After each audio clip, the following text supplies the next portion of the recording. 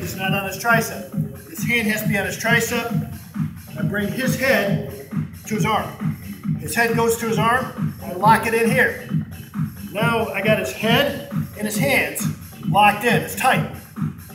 Now I bring it up. Now I got it here, right? Now it's right here. Okay?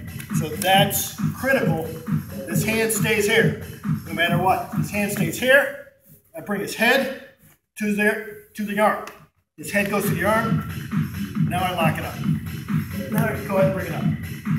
Okay? Now I got it here. Okay? That little bit right there, that's going to make it or break it. Right? That hand has to stay in that tricep. Can't move. I bring this hand to this hand. Okay, not the other way around. I don't move this hand. This hand stays right on the tricep. Bring it right to it. Okay, let's work on that a few more times. Guys ready?